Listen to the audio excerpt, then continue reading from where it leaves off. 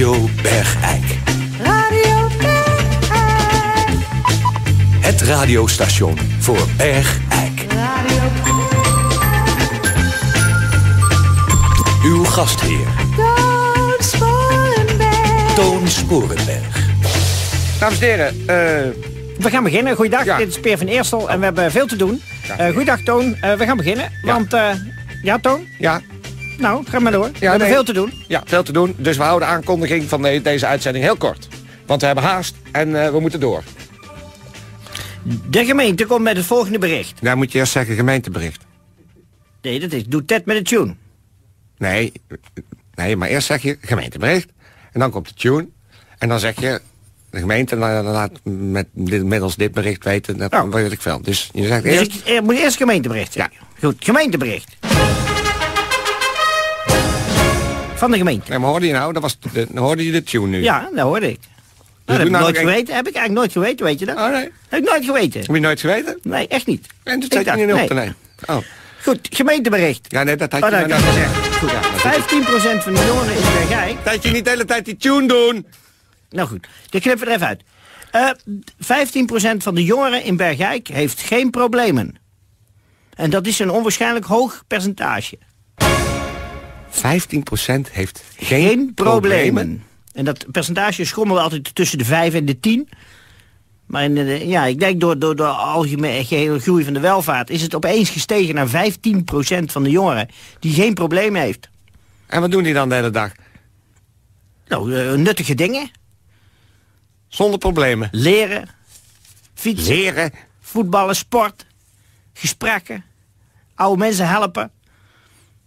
15%? Heeft geen problemen. Dus er is nog maar 85% van de jeugd met problemen. Ja, die hebben heel veel problemen. Depressies, eetstoornissen, drugsgebruik, alcoholgebruik, Ja. suïcidale neigingen. ja.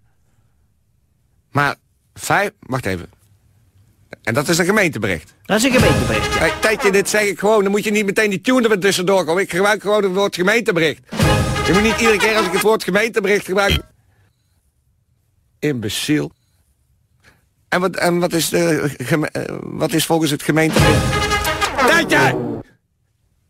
Nou goed, dat was het bericht. We gaan iets anders doen. Oh.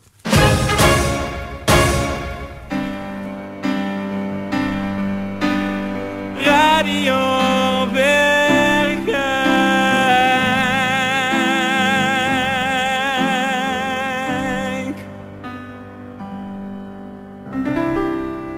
Dames en heren, eh, het is weer tijd voor eh, onze nieuwe rubriek voor de jeugd. Eh, die staat onder leiding van niemand minder dan Lieve Goesting. Vorige keer heeft ze ons alles uitgelegd over telramen en rekenmachines en...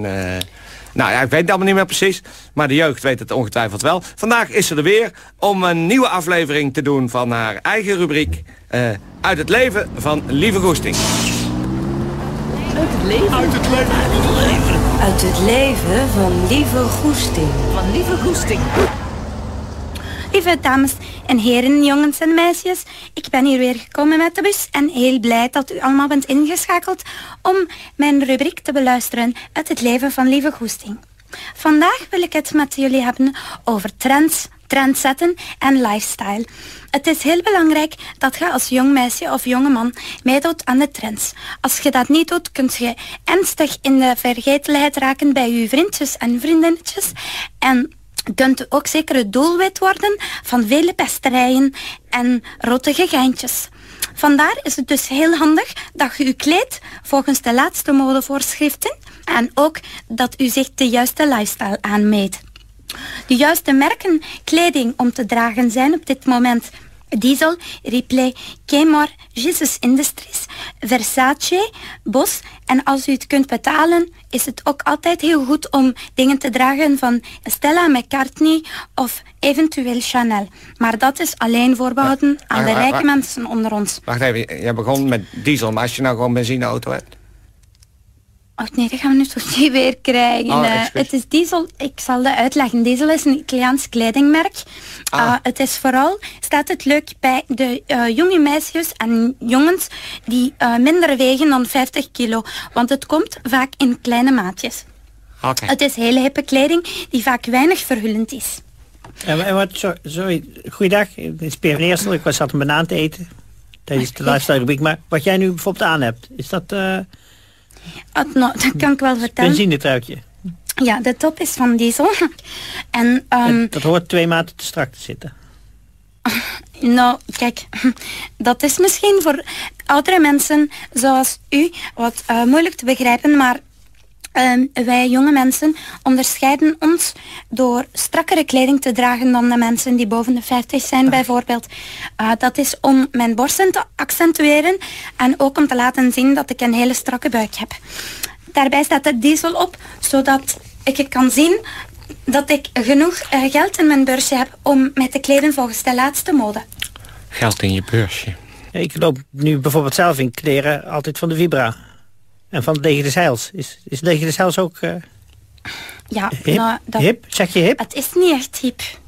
Ik vind dat voor u niet erg, want u bent nou eenmaal oud en u hoeft zich niet Ja. dusdanig meer te onderscheiden. Ehm, u bent waarschijnlijk tevreden met wie u bent en wat u doet. En Nou, niet echt. Maar goed, u heeft al vrienden en u hoeft niet hip meer te zijn. Voor u is dat Nou. leven al bijna weer afgelopen. Voor mij, mijn keuzes van de kleren die ik draag en de lifestyle die ik leef, eh, dat hangt nu nog volledig af van wat ik draag en wat ik doe. Ik kan totaal in de mislukking raken of in de goot belanden als ik nu niet dat juiste kies. En dat is met veel mensen zo die jong zijn. Daarom wil ik zo graag informeren daarover. Kan ik nu verder gaan met mijn rubriek? Ja, ja, ja. Ga, ga, ga, ga vooral je gang. Oké, dan zal ik u nu vertellen over lifestyle. Kijk, dus als ik mijn trui nu zo strak trek... Kijk, dat zie je een beetje bij navel. Kijk, Dat is- nu moet dat natuurlijk niet benadrukt, dat benadrukt heel erg je borst hoor. Kijk, maar dat is dus niet goed. Dat, ach, maar dat maakt me Nee, ook niet meer uit. U mag dragen wat u wil. Ja, want jij hebt ook je, je, je, hebt, de, jij hebt je, je broek, lieve, die, die hangt, bij- dat die blijft hangen, zeg. Jij zit zo laag. Ja, die hangt net over mijn heupen. Dus, wat ik zit als, kijk, ik dat nou bij mezelf doe, dan komt mijn bilnaad tevoorschijn. Ja, bij u zou ik het ook niet doen. Kijk, het mag van mij, maar het staat u niet. Je maar moet je, scheren, je moet je scheren daar, dat is even een tip. Maar kijk, dan trek ik mijn, mijn, mijn talenka pullover trek ik boven mijn navel. Of is het hip om je niet te scheren daar, lieve? En dan doe ik Nee. mijn broek heel laag en ben ik dan in de smaak bij Ik een vind jongen. sowieso dat je moet begrijpen dat je dit soort dingen alleen kan doen als je nog jong bent. Dat heb ik zo net ook al proberen te vertellen. Dat kun je niet meer doen als je, als je oud bent of zo. Dan moet je gewoon eh, verhullende kleding dragen die wel stijlvol is. Of niet, maar dat maakt niet uit. Maar dan hoort je niet bij de, bij de, bij de succesvolle mensen. Is het, Ehm. hier, is het hier nou zo warm of heb ik het nou zo warm? Ja, trek, jij- trek jij eens iets uit. Ik trek even iets uit. Waar had ik het nou over? Oh, ja, over de lifestyle. Dat toch ook heel belangrijk is dat zodra je goede kleren hebt gekozen, dat je je voegt bij een groep waar je je lekker bij voelt.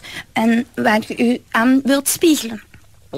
Je kunt bijvoorbeeld, het is niet mijn persoonlijke smaak, maar je kunt bijvoorbeeld bij de neopunkers gaan. Dus dan wil ik mij spiegelen en dan ga ik gewoon bij een, dan dring ik me gewoon naar binnen in een groep pratende jonge meisjes. Nee, maar dat zeg ik toch de hele tijd. Dat kan alleen als je nog jong bent.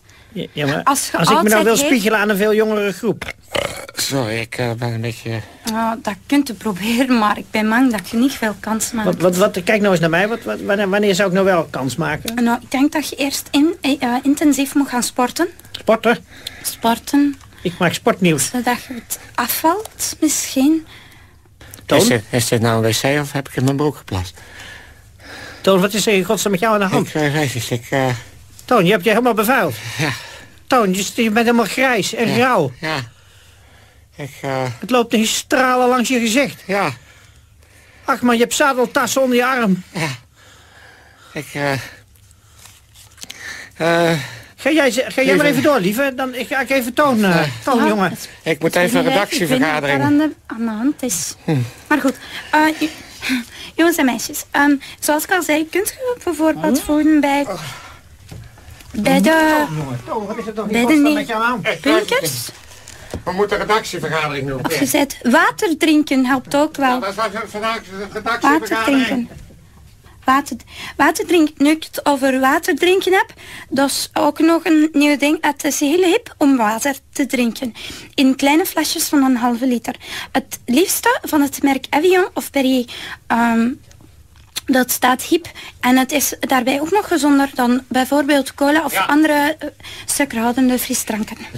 Ja, ik heb eh, even een vuilniszak omgedaan.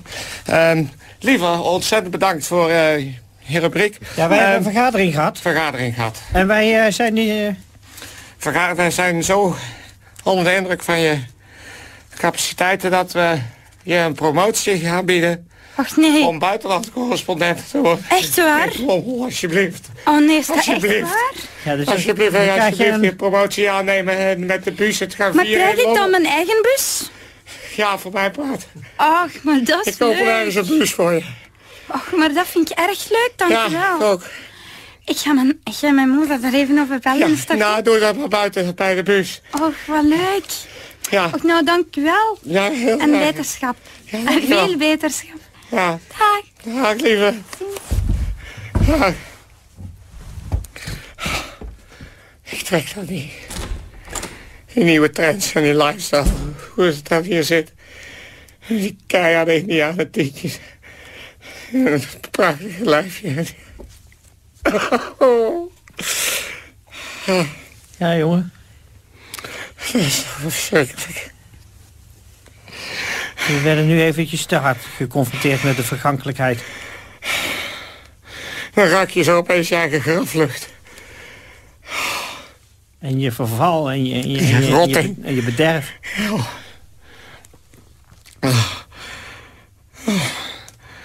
Het is wel verschrikkelijk confronterend dat iemand die zelf zo jong is... je is met open blauwe ogen recht in je gezicht verkondigt dat je lelijk bent en En oud en stinkt. Dat en, het dat geen zin meer heeft. en dat er niks meer aan te doen is. En dat niet uitmaakt of je je bil scheert of niet. Toon, eh, we gaan ons weer op onze eigen doelgroep richten. Ja. Alcoholisten En depressieven zonder toekomst. die overmatig zweten. Overal. Daar ga ik een rubriek voor maken. Voor het voorkomen overbodige nutteloze alcoholisme en depressie. Mijn doelgroep. Nou, Tetje, Alcoholistenmuziek, Tetje. Voor de doelgroep. kom maar. Voor de depressieve, nutteloze doelgroep. Wij nemen een kopstoot, jongen. Oh. Een kopstoot. Ja. Ja. Hier even Nee, bier. laat maar zitten, Beer. Ik moet het even van mijn netvlies drinken. Nou, proost. Proost, jongen. Op de volgende depressie. Oh, daar komt hij al. Op het zwarte gat. Precies. Ik strak het eraf naar het open graf. Nou ga ik er ook helemaal niks meer aan doen ook. Ik, ik, ik ga mijn haren niet meer kammen, ik ga mijn tanden niet meer poetsen. Je dat nog dan? Eén keer in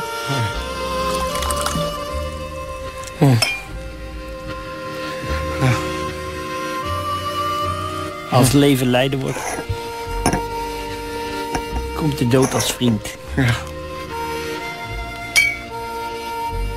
Nooit meer jonge mensen, hè? Toon in de studio. Nee. Ik ben hardleers geweest, maar Misschien alleen nog eens eentje om kapot te maken. gek te schoppen.